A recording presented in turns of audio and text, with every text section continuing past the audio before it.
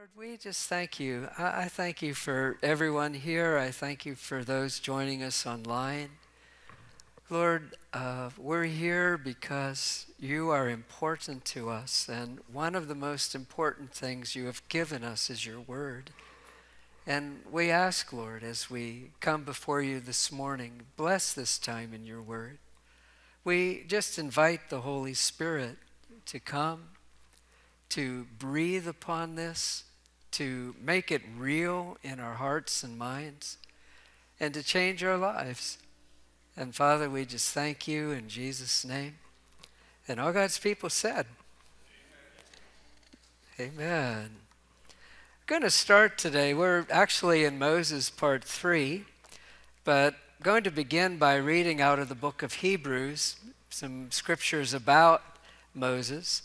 And Hebrews chapter 11, verses 23 through 27, where the scripture says this by faith, Moses, when he was born, was hidden for three months by his parents because they saw that he was a beautiful child and they were not afraid of the king's edict.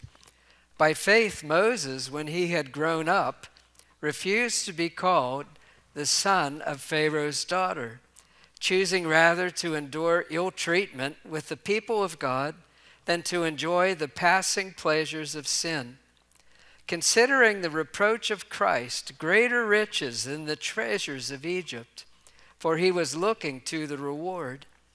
By faith he left Egypt, not fearing the wrath of the king, for he endured as seeing him who is unseen. And that's how we have come to be looking at the life of Moses because we've been looking at examples in the Bible of people who were pure in heart and saw God.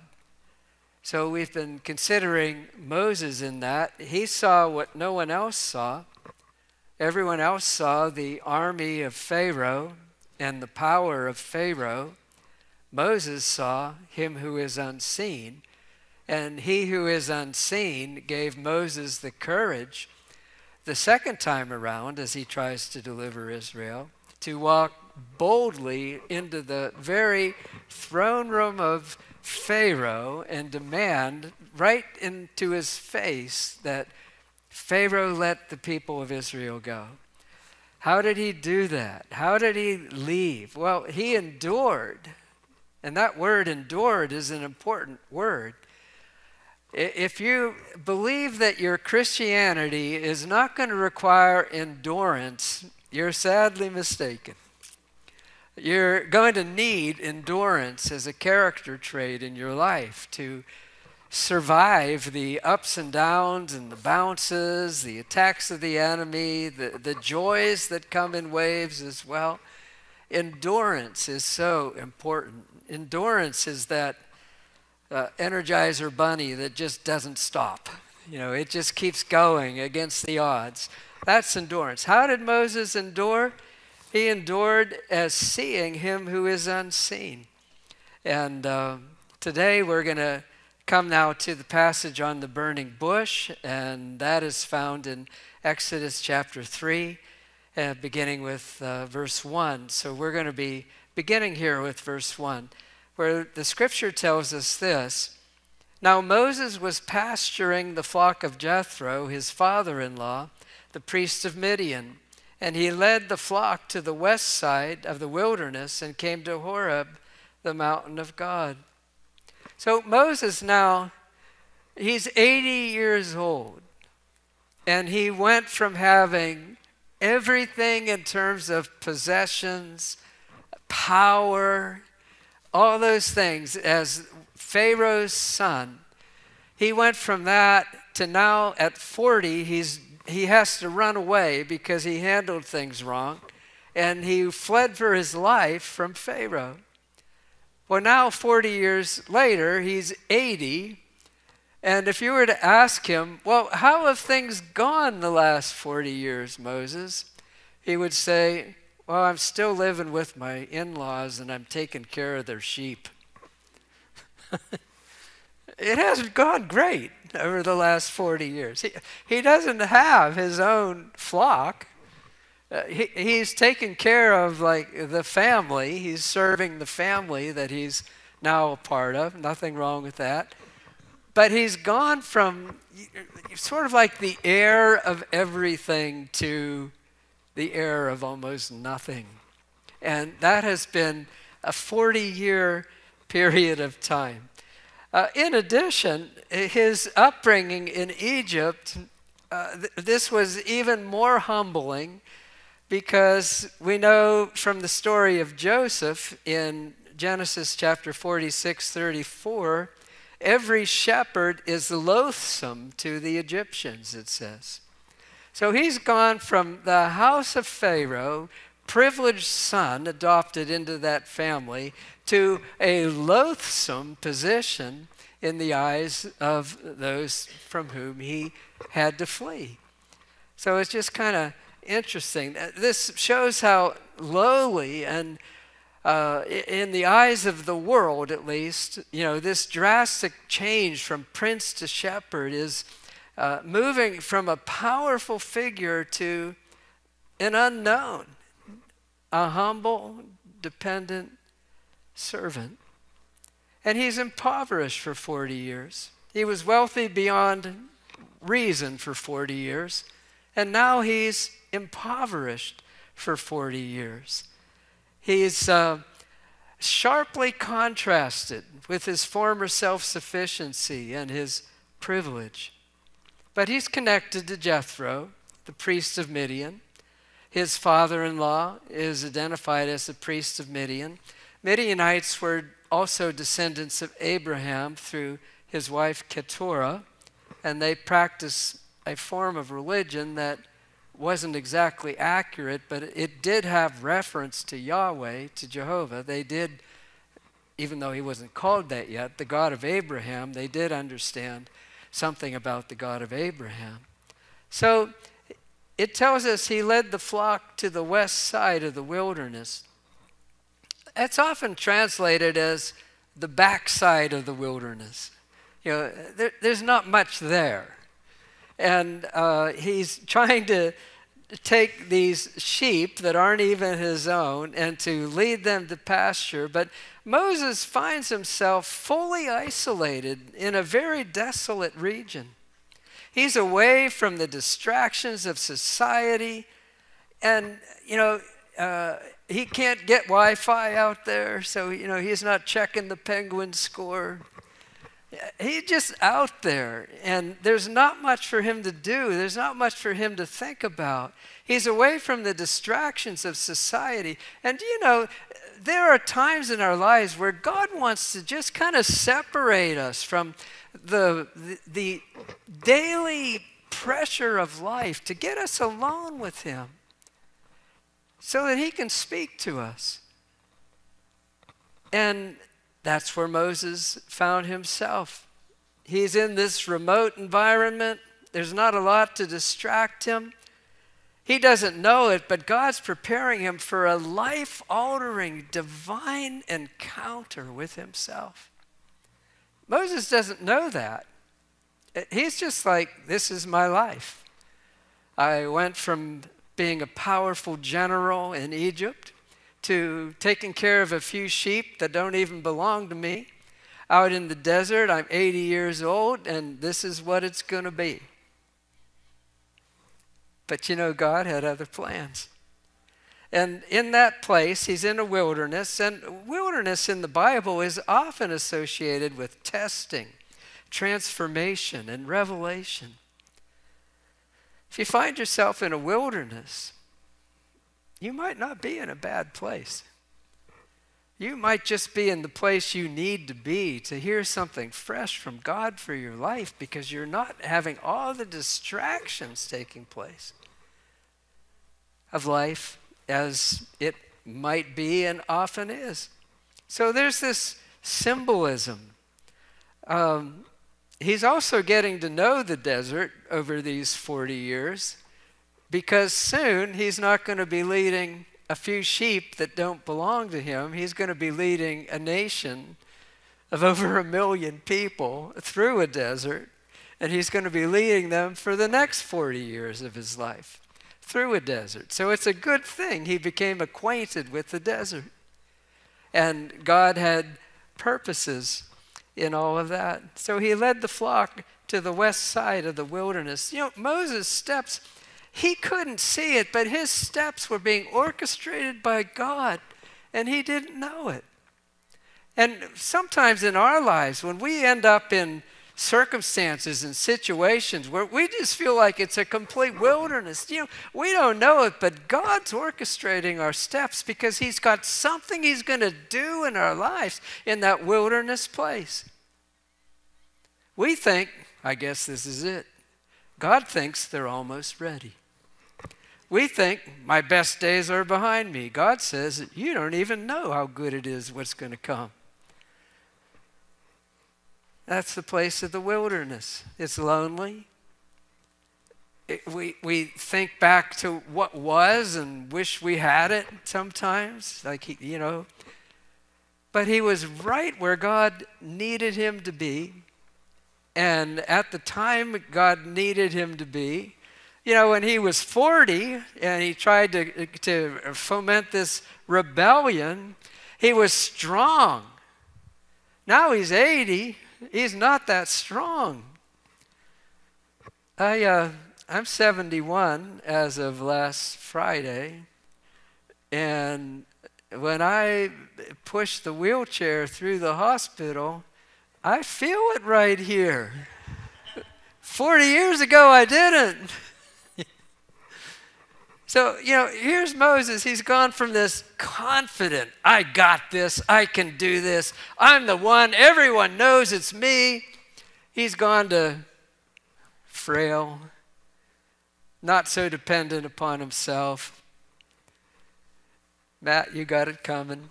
You don't have to, you know, enjoy your strength and your youth, you know. But days will come, you'll feel it a little more. Moses was in that time. And it says he came to Horeb, the mountain of God.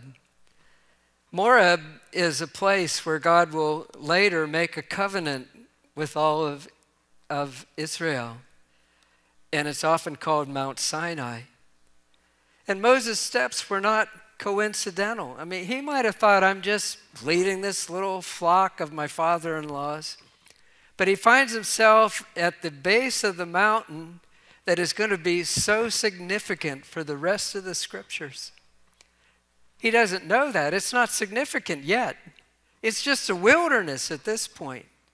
But he finds himself right there, and his steps are being orchestrated by God, and he didn't even know it.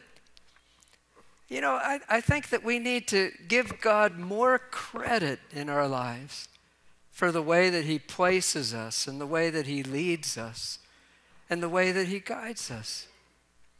We think we're just ambling through life. Oh, I guess I might as well take this little flock of my father in laws this way. And God says, I have led you here. I have directed your steps. I have you here for a reason and a purpose. Moses wouldn't have thought there was any reason or any purpose at that point. But his steps were being encountered, orchestrated by God, and he didn't even know it. Let's take a look at verse 2, Exodus chapter 3 and verse 2. So there he is. He's at Mount Horeb. He's out in the middle of nowhere, the backside of the desert. Verse 2 The angel of the Lord appeared to him in a blazing fire from the midst of a bush. And he looked, and behold, the bush was burning with fire, and yet the bush was not consumed. Well, this the term for what happens here is called a theophany. God appearing to someone in a, a visible manifestation. Theophanies happen at different times throughout the Bible.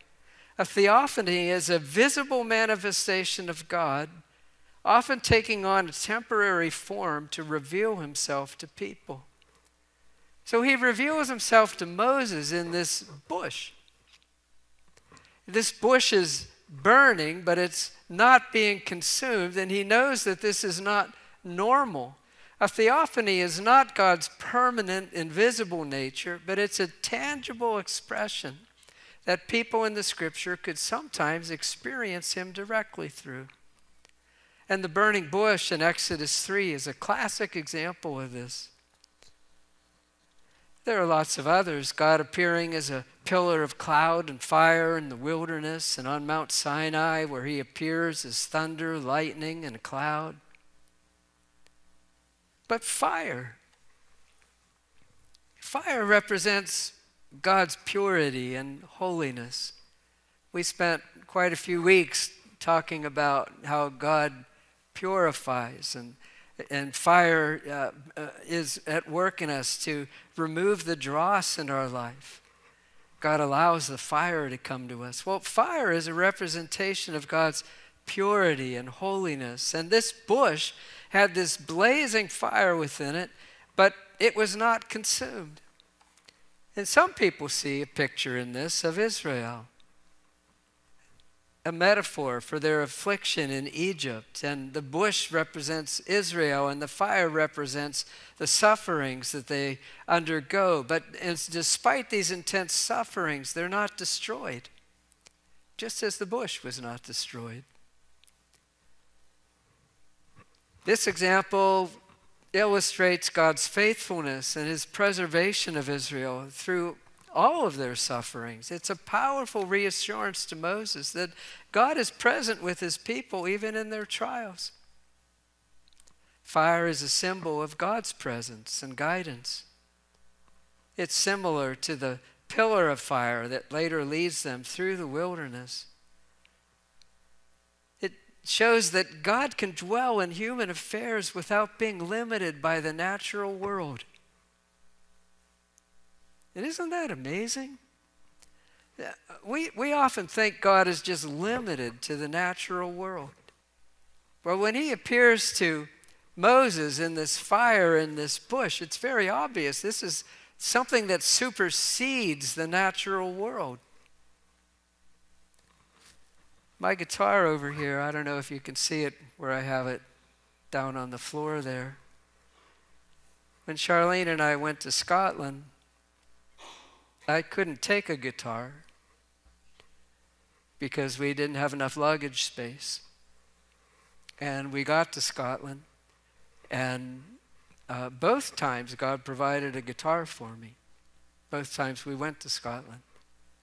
But on this occasion, we were sitting in a Christian service, and a gentleman was playing that guitar up on the platform.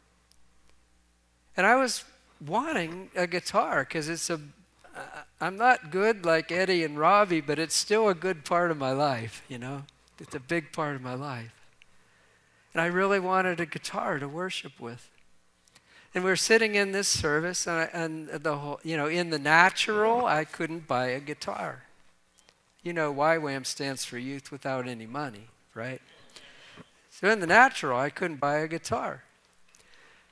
So I'm sitting there, and this gentleman was playing the guitar, and I heard the Holy Spirit speak to my heart, and he said, I'm going to give you that guitar. There it is. I didn't say a word to anybody after the service. Immediately, immediately after the service, he walked from the platform, handed me that guitar, and said, God spoke to me and told me to give you this guitar. See, we limit God to the natural. But the burning bush shows you can't limit God to the natural. He's above and beyond. And I played that all over England, all over Scotland, wherever we went. Played that in worship, played it in the open air, sang at bus stops. It was okay until the bus came and took your crowd away. I played it in this little park. I, you know, I just wanted to get alone and worship God. There was a park across the street from where we lived. I found this little enclosed area and no one was around. I sat down with that guitar and just began to worship. Closed my eyes. Half hour later, I opened my eyes. I had a whole crowd of people in front of me. I didn't even know they were there. That's the guitar. And the burning bush, the fire not consuming it, is, is in uh, amidst other things, it's God saying He's not limited by the natural world. And He can guide through every challenge. The burning bush is also an image of calling and commissioning. God's igniting something in him. God's igniting something that's going to change the course of human history in Moses. He's igniting something. And you know, when we're in the presence of God, uh, there just may come a day where He just ignites something in you that you thought was long past in your life. But He's not limited to age, to time. He can overcome mistakes as He overcame Moses' mistakes. And His purposes have a, a holy fire about them. So we, you've got this image of God's calling and commissioning. And just like the bush holds the fire without being destroyed, Moses is going to be filled with the fire of God's presence and power without being overly consumed by it. God's call often comes with a divine power that enables and sustains the person, no matter what the challenges are. So these are four different ways of looking at some of the symbolism of the burning bush. Moses sees this burning bush. And this was um, a, a, a thorn bush. And many Bible scholars believe that the bush that burned in the, in the wilderness was the acacia bush or the thorn bush of the desert. Genesis chapter 3, verse 18, God had said when mankind sinned, Thorns and thistles it shall grow for you, and you will eat the plants of the field in your sweat. So, thorns and thistles become an emblem of the cursed earth because of people's sin.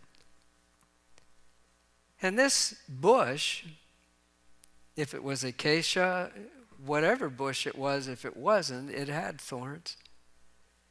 God's holy fire is coming into the very emblem of sin to show that He's going to deliver Israel out of their bondage. So it's traditionally believed to be an acacia bush, which was a type of shrub commonly found in that area.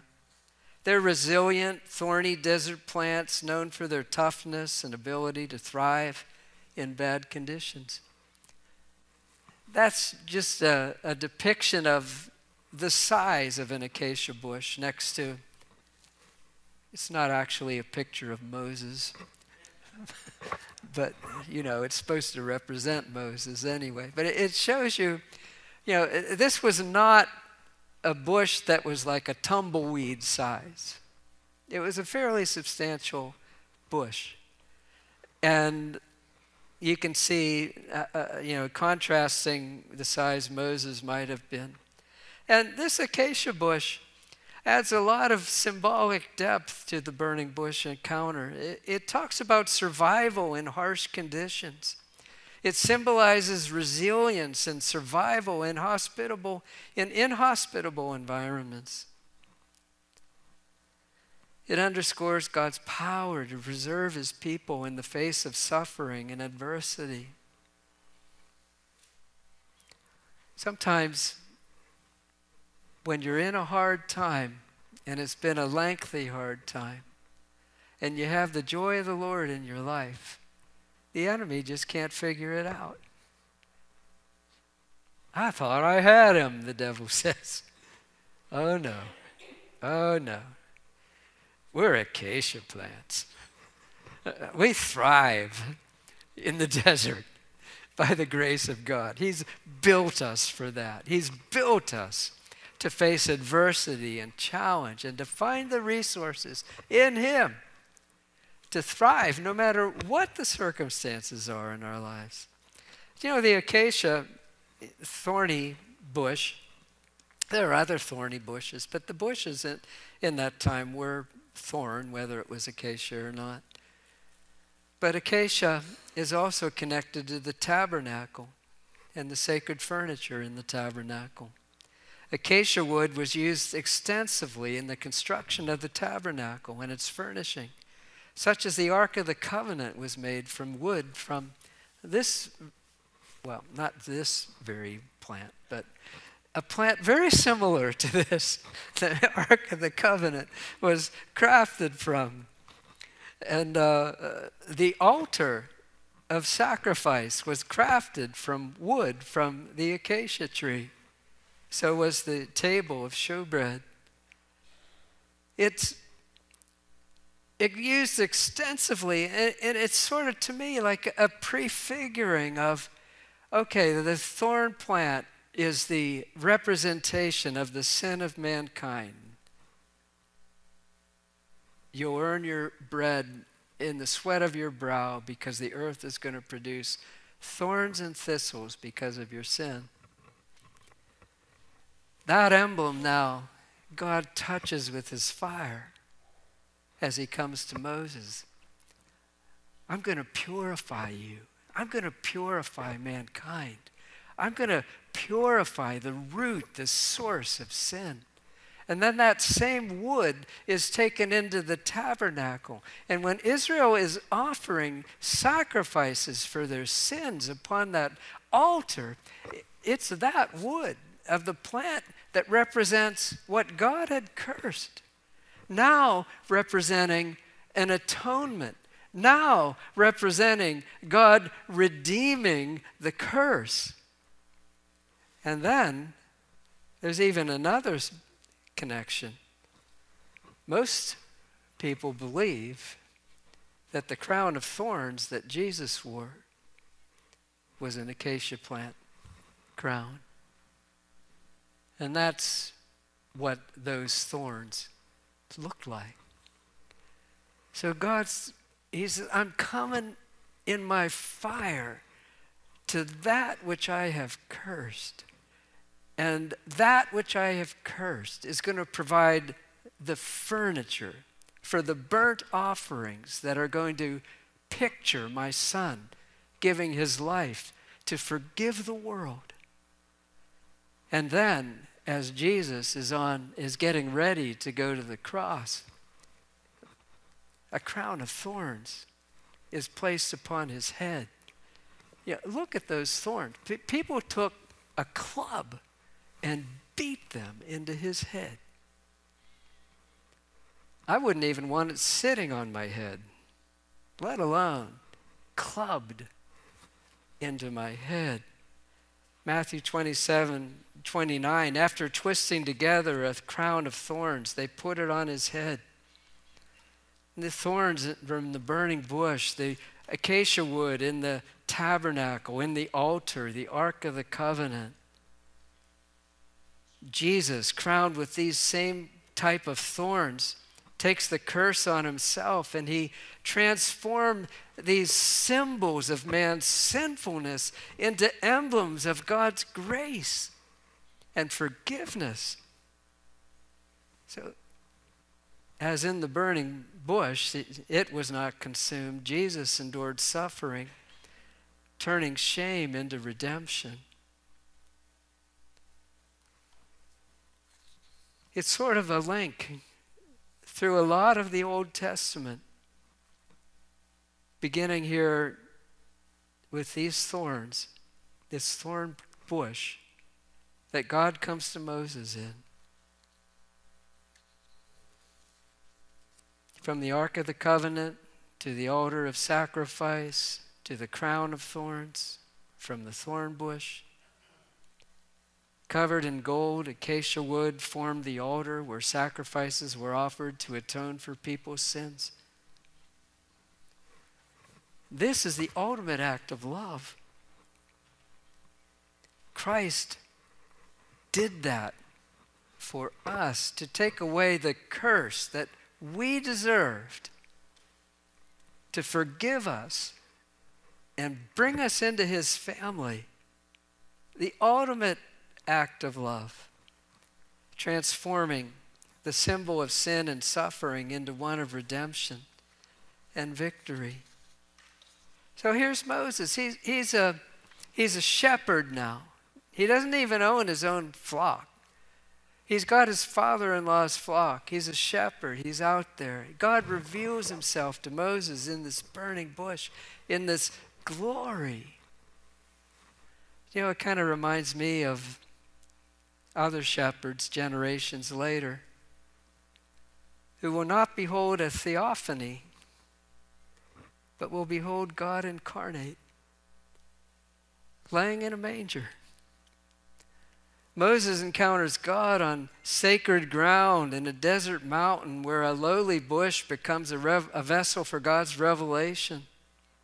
The shepherds witness the incarnate God in a humble manger, and an unexpected and very ordinary place surrounded by animals rather than grandeur. And those shepherds, after the angels lit the sky, and the glory of God was seen. Then they said, Come, let us go to Bethlehem and see this thing that the Lord has made known to us. They beheld this baby who had no human father. This baby who was God, having taken on our humanity, leaving heaven, never ceasing to be God, but not accessing his privileges of God. Colossians chapter 2 says, For in him, Christ, all the fullness of deity dwells in bodily form. Oh, this wasn't a theophany that they saw. This was the greatest miracle ever. Jesus having taken on our humanity.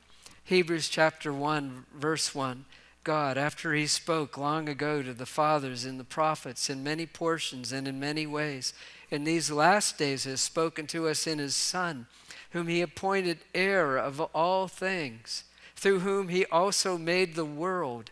He, he, Christ, is the radiance of his glory, the exact representation of his nature, and upholds all things by the word of his power. That's the one they saw as an infant in a manger. You get worried about the world, There's reasons to worry about the world.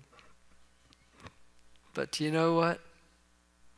He has appointed his son heir of all things. And that son upholds all things by the word of his power. So get your eyes back on him. It'll keep you sane in the world we live in today. That much I can tell you. So, this is a form of divine revelation that came to Moses, this theophany. And this theme of thorns runs right through it thorn wood. When I lived in Bethel Park, I used to live on Thornwood Drive. I never thought about that. As a baby, my parents had a home on Thornwood Drive. If I lived there now, it would have a different meaning to me. But I was just a kid. I didn't even have a room. My room was the hallway between my brother and sister's room. They just stuck a little dresser there and let me sleep.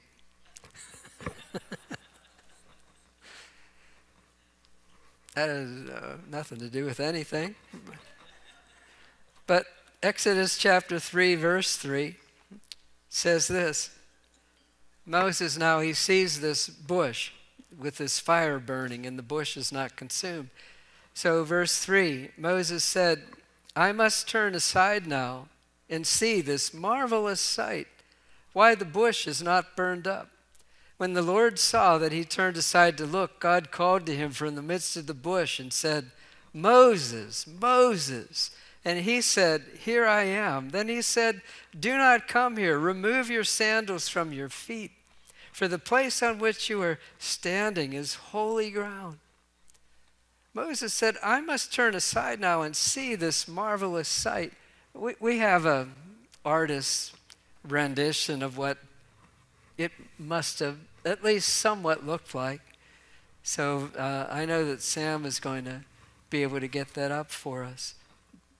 But to Moses, it's a, it's a marvelous sight.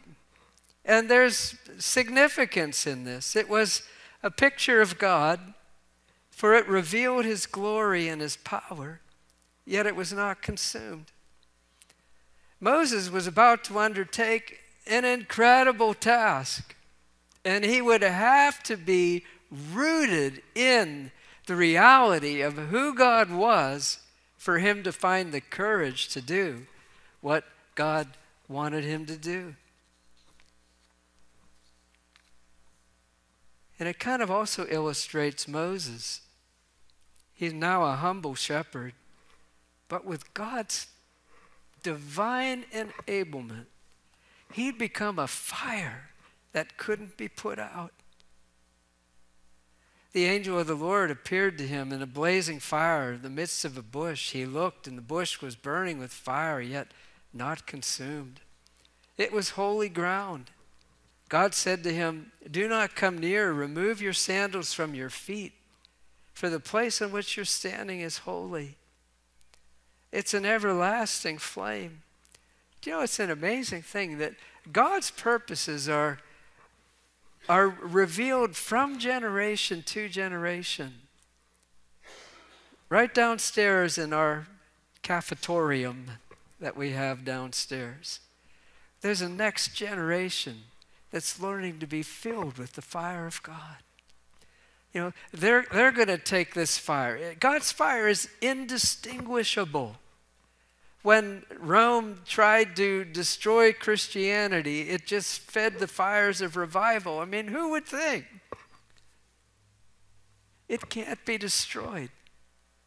The Bible tells us in the book of Hebrews that we are part of a, of a kingdom that cannot be shaken. Aren't you happy about that? Uh, uh, in the book of Hebrews, it tells us that the day will come when everything that can be shaken will be shaken. We might be in that day or pretty close to it right now. But that's not the whole picture for those who belong to Jesus Christ. We're part of a kingdom that cannot be shaken. And we have a king. Isn't that wonderful? King Jesus. And whatever else happens in the world, we're part of something that can't be shaken. And this flame, this fire that consumes, is into, into, it cannot be extinguished. The Bible tells us that he drew near. When the Lord saw that he turned aside to look, God called to him from the midst of the trial. Moses turned aside. Yeah. Have you turned aside? Have you stopped living your life for yourself, for the things you want? Have you had a, a, a revelation of the person of God that makes you want to say, God, I don't want to live for those things anymore? They might not be bad, but I want to live for you. Have you turned aside? Have you given your life to Him? Or you, you know, just imagine Moses seeing this burning bush and knowing it's the presence of God saying, uh, My sheep are more important. Choose someone else. It'd be crazy, wouldn't it? Have you turned aside? Like Moses, we're called to turn aside and see God's love revealed. So when the Lord saw that he turned aside to look, God called to him from the midst of the bush, Moses, Moses. Moses had called his son Gershom, meaning stranger.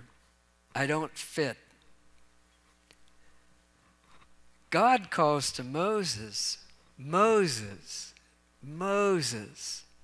Do you know what Moses may have heard, you know, when, when people call me Daniel, when my wife calls me Daniel, I know I'm in trouble. But when other people call me Daniel, I hear God is my judge. God is my judge because that's what my name means. And I've tried to live in light of that to the best of my ability throughout my life, that God is my judge. When Moses heard Moses, Moses, He's going back 80 years. He's hearing, You were drawn out. You were drawn out. There's something God had for you. There's a reason He drew you out. Moses, it might look impossible to you right now, but I drew you out. You were drawn out. And that's what he's hearing. He's hearing, drawn, eh, eh, drawn out, drawn out. You know, eh, he's given up. He's saying, I guess I just don't fit anywhere. I'm going to call my son Gershom. And God comes to him a little later and he says, Moses, there's a reason you were drawn out. There's a reason that your name is Moses. It, it, reawakened something in Moses. There's a reason he was drawn out. His life was not random. There, there's a reason things went the way they did. And I think we need to be more appreciative of that in our lives. There's a reason things go the way they go. We may not like the way they go. We may wish they'd have gone a different way. We may have contributed to the way they went if it was not what we hoped for. But there's a reason things happen. And his life was not random. God's purpose was infused in his personal history. And now, there's an inextinguishable purpose that's going to be ignited. When he was 40 years old, he flared out. he tried it his way. Didn't work out too good. Now he's 80. God's saying, I'm going to give you my flame. I'm going to give you my flame. I am reigniting the flame of purpose in you. But this time it's a fire that I will sustain and not one that will burn out because it's human effort. You know, God was assuring him that his previous failure would not define his future. Isn't that wonderful? So he's hearing, drawn out, drawn out. That flame that once burned too hot and too quickly in Moses' heart is being transformed into a divine fire and one that would endure the trials and the obstacles.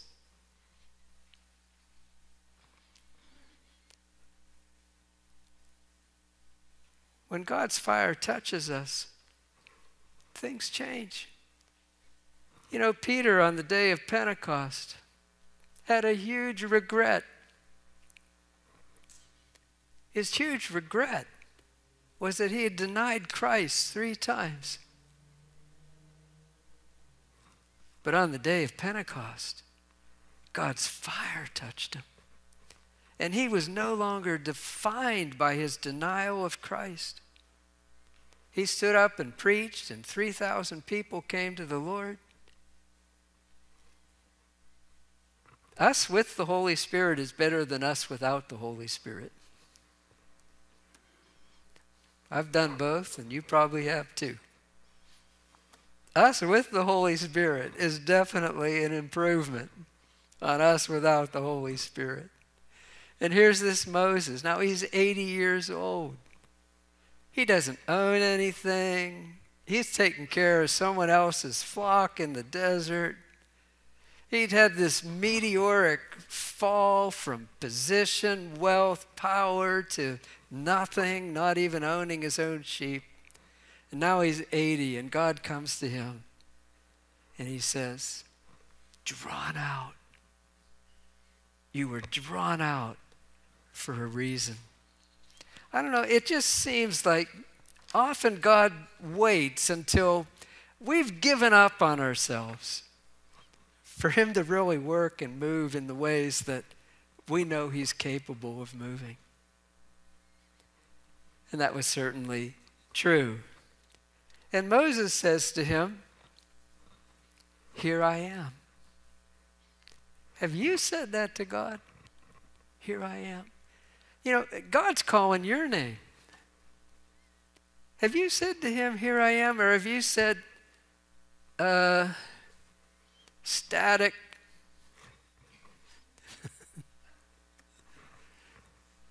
or have you said, that must be the devil?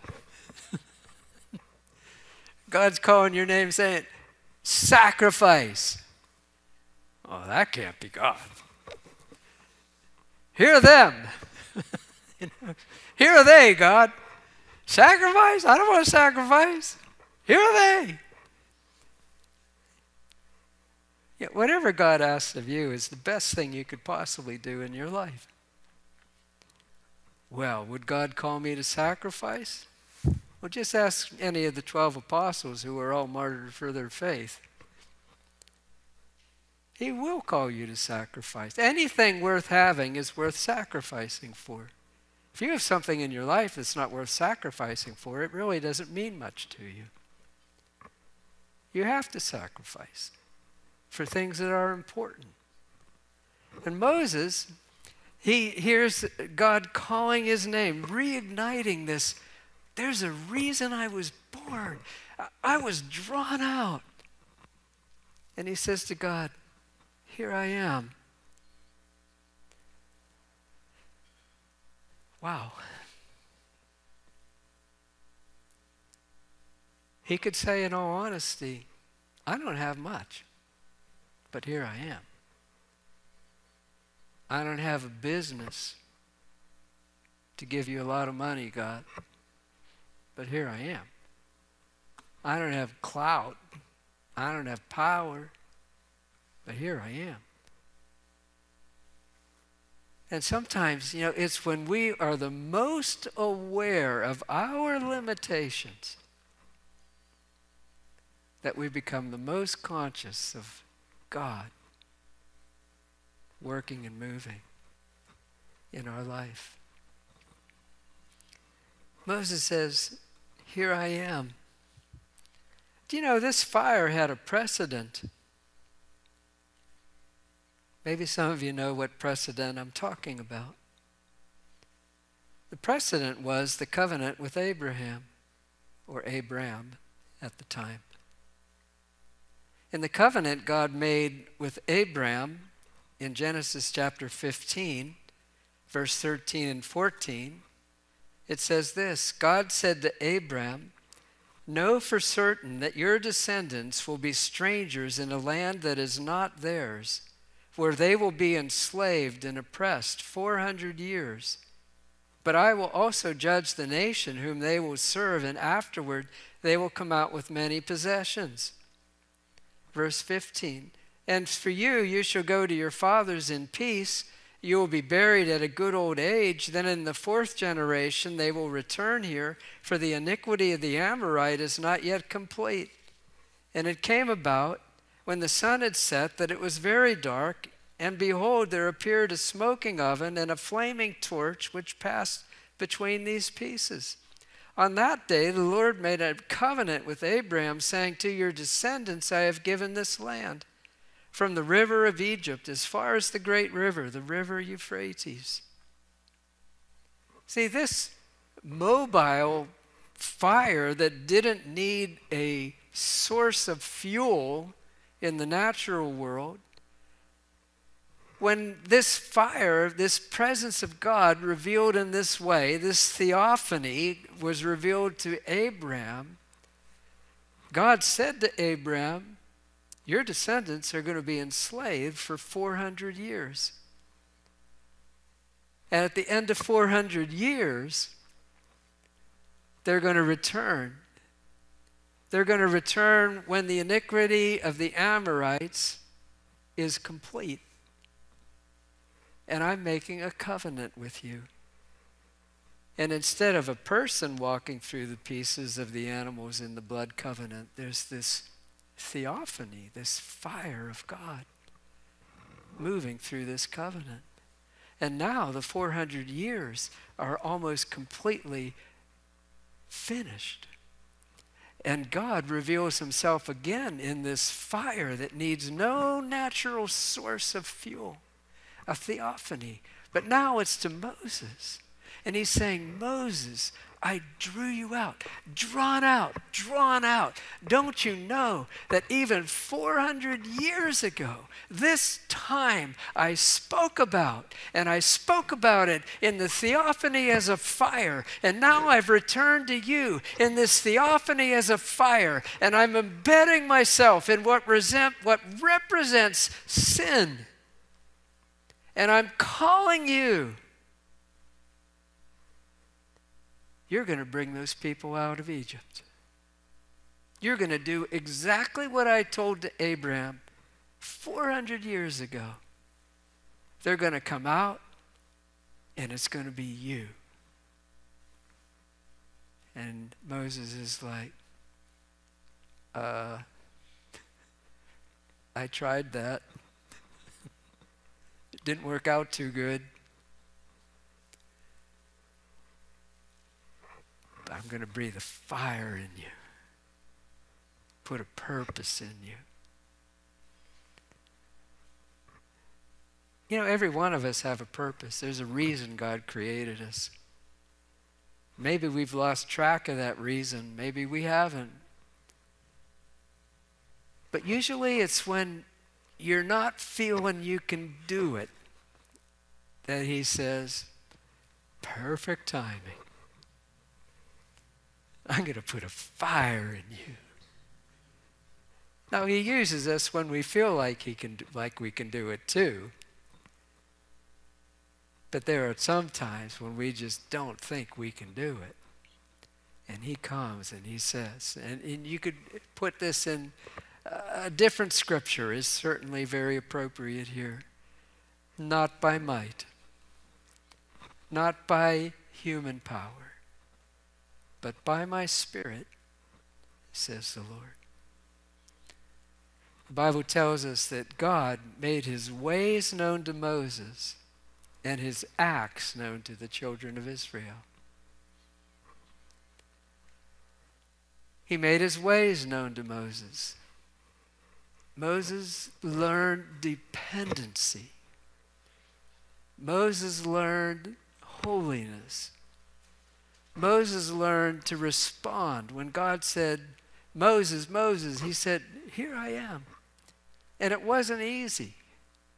But boy, was it meaningful. And I'm going to ask Ed to come back up. Next week, we're going to look at Moses' five excuses as to why he couldn't do this. But you know, with all of his excuses, he ended up doing it. You ever make excuses? I have. Well, we may have our excuses, but God can still have his way. And, you know, today, as we prepare to receive communion together, we can invite our singers back up as well. And Ravi in the wings over there. The way we're going to take communion today is Janet and Bruce are going to come and they'll have the elements up here and some small waste baskets for people to come. And just beginning from the back, once we're ready, if you could come and receive communion uh, up here, and then, you know, as space fills up, continue for others to come. But I want you to just think about that question. Have you turned aside? You know, have, has God's priorities for your life changed the direction of your life? Or are you casually interested? If you're casually interested, you're going to miss out on a whole lot. Have you turned aside? Said, I'm going this way in my life. Yeah, thank you for the other things in my life, God, but I, am going this way. I'm turning aside. I'm going to pursue you. And when God called Moses, Moses, Moses, Moses didn't say, wait a few years. He didn't say, I'm not ready. Well, he kind of did say that. But at that point, he didn't say that. He said, Here I am.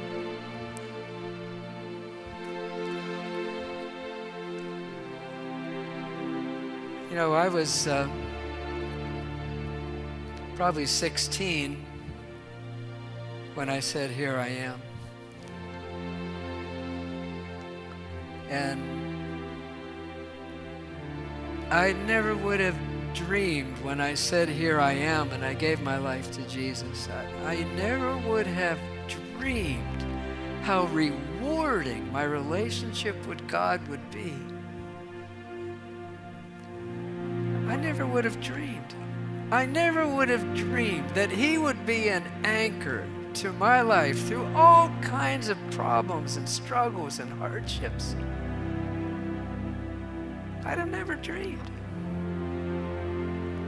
I'm so thankful that I made that decision when I was 16 years old. Here I am.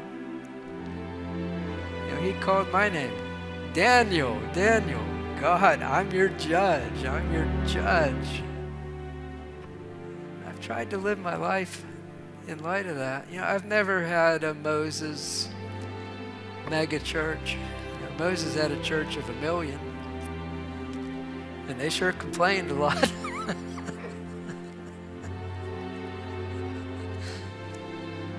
but by His grace, we've been able to serve Him in three different countries and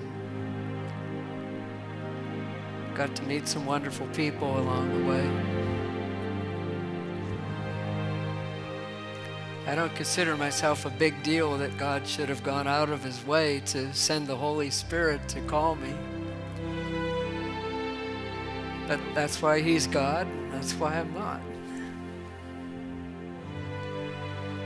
His purpose for you is unique to you. And, uh, you usually it, it just seems like he waits till it looks like there's no hope. You've given up. It can't happen. It won't happen. It's been this way too long. And he just says, I'm going to set a fire in you. How many of you know what I'm talking about?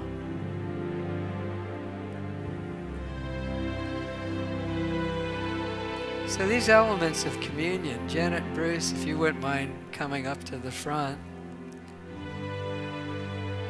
If you have asked Jesus Christ to be your Savior, we encourage you to come and to take part in these elements. They represent His sacrifice for our sins.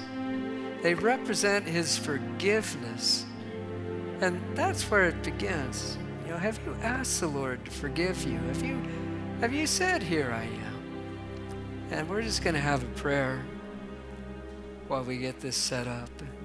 I'd like for you to pray along with me if if you haven't before. Dear God, I want to thank you that you know my name.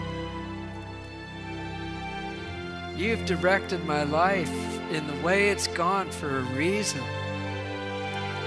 And I'm here this morning, Lord, to turn aside to you.